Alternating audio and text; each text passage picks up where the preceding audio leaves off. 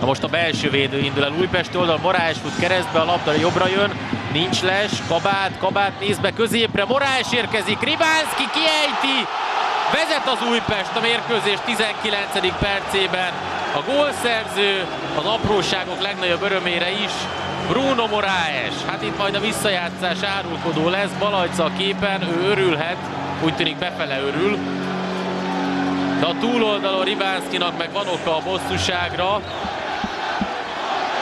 majd megnézhetjük pillanatokon belül, hogy kabát beadása után mi is történt. Ami biztos, a félidő felénél vezet a hazai csapat.